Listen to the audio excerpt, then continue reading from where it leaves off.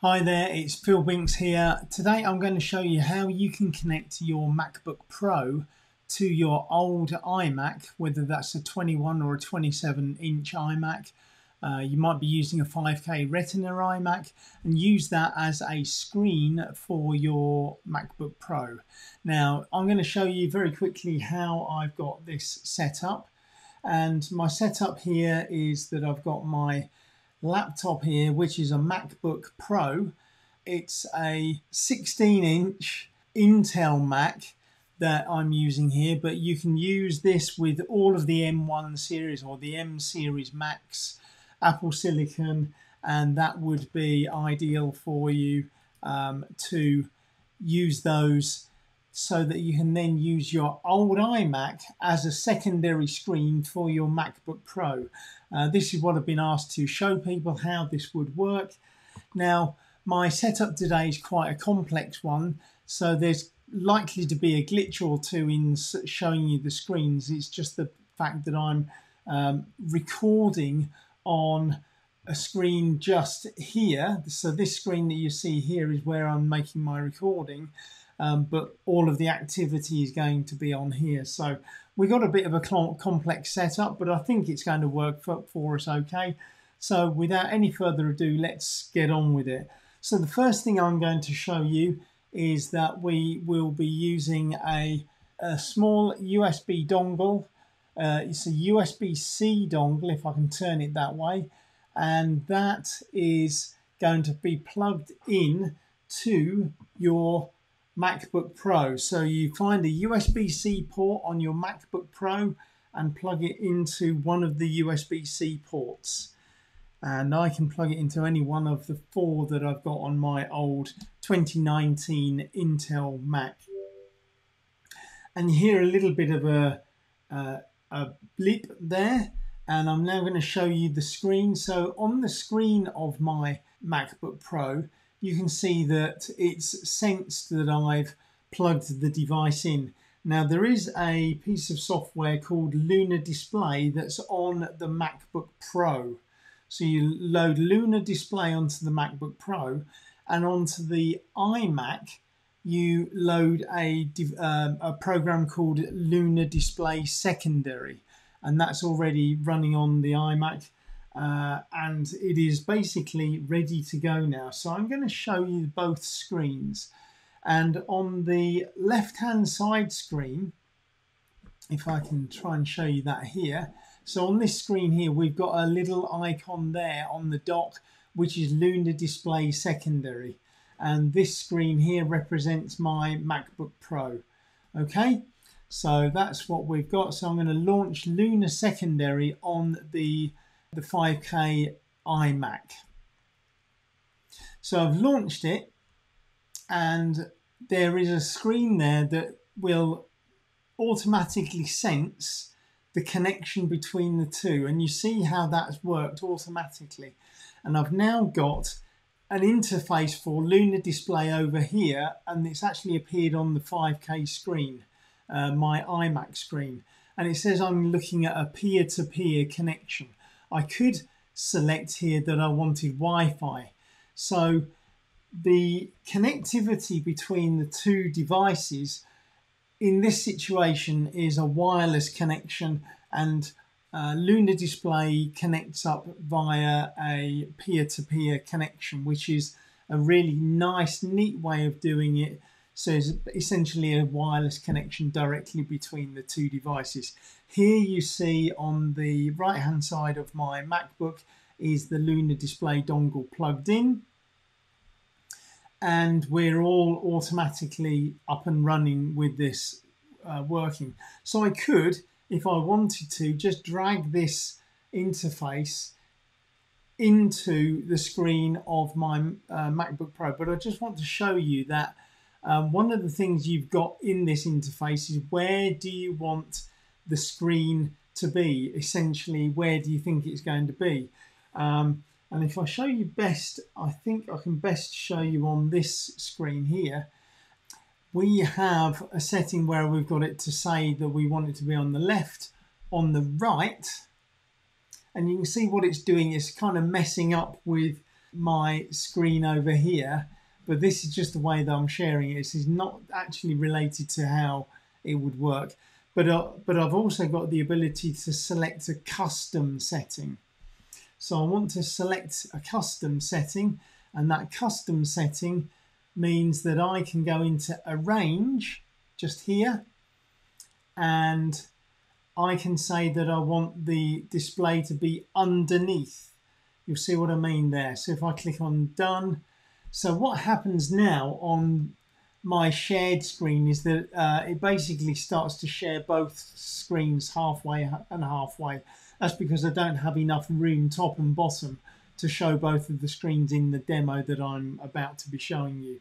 Uh, but that's the way that that would work. Let me bring you back to the overall settings so you can see how that works now.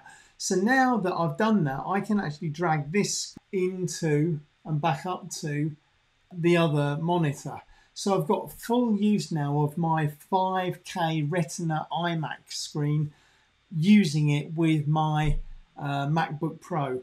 All of my dock icons are on the left hand side here. I could change the uh, the main display to be the MacBook Pro if I wanted to, or I can leave it as the main large iMac. So let me just open up another uh, monitor or another application just so you can see a window. So I've got a window there and I can just drag that window straight back down as you see to my to my MacBook Pro, Pro screen and it's exactly the same as you would always have running two monitors connected. We're just using Luna Display to be able to do that and of course the great magic is that we've got the ability to use your old iMac. This is the trick, this is the new thing about this. Your old iMac screen can now be used as a monitor for your new M series Mac or even your old Intel Mac if I've got an Intel as I say uh, 2019 Mac. This um, screen that we see here, this interface here that's the Luna display interface, I can close that. So I'm going to just close that down. Watch me, uh, just click it and everything still carries on working as I want it to. It's just a, a an interface for Luna Display. If I want to bring that back up, then I can go up to the top uh, icon at the top left of the screen here, click on it, and it brings back that interface for me. So we don't have to have that open at all. And really that's it. Now, I'll just come back and chat to you face to face, essentially. I prefer to have a wireless, a wired connection between the two devices. But that, of course, in this situation would mean that you have to get yourself a, uh, a converter, USB-C converter to Ethernet, and then connect that to your router. So in most situations, I presume that most people will just be using the wireless connection between the two devices. Now, in terms of speed, it's not massively fast, but it is fast enough to work very nicely. And you can watch videos, that kind of thing, quite happily between the two devices. So on your iMac screen, when you're running a video, let's say from YouTube or something like that, you'll be able to watch it quite happily on your iMac screen. Um, there is a little bit of a delay, very small though, and you'll certainly get used to it. And the fact that you can use your iMac as a monitor is great. But the other advantage, as many of you will know from my previous Luna displays demonstrations, is that you can then use your the hard drive within your iMac on your network. So you can start to save files to it and certainly recover files from it as well. When we're using Luna display in this situation, we're unable to use applications that are on the iMac. Okay, so all of the applications you're going to use are going to be on the MacBook Pro and you'll be able to use those in the screen. But in this mode, your uh, your applications that are on the iMac are not going to be able to be used. All right, so just to show you now how I can close that down. Firstly, I'm going to quit the uh, application that I launched just there. Quit it just here. And then what I can do is if I want to stop sharing the screen, I would go to Luna Display here. The Luna Display is shown in the top of the screen. Mm. So in the top left of the screen here, remember what we're seeing now, this dock is my MacBook Pro dock, okay? So here we can see that and I can quit out of that and I'm going to switch back and I go and quit Luna Display. Then I return to my normal working from my MacBook Pro and my iMac is now running Luna Display Secondary waiting for me to relaunch the Luna Display application on here. If I don't want to go ahead any further with this, on the screen on the left hand side here, you can see there's an escape button. It says to quit Luna, which is the Luna Display secondary app. So if I now go and I'll click on that and I hit escape, then my iMac returns to its normal operations. Okay, so again, I'll just show you the overview. So my iMac is now in its normal overview, its normal operations. I've got a mouse here for the iMac and I can use that and I can separately use the uh, MacBook Pro. They're no longer linked. To link them again, let me just very quickly show you. So on here, I'm going to launch Luna Display Secondary. So I'll go over to that and I'll click on Luna Display Secondary. And you see it's got the black screen that waits for me to now launch the Luna Display main app on the MacBook Pro. And that's up here for me. That's obviously in my dock, wherever I want that to be. So I'm going to launch that. And you'll see in a second or two that the two will actually launch and link. They'll see each other and automatically connect. So they're just about to do that and they have done that. Let me bring you the overview. So the overview again shows you that that's the case.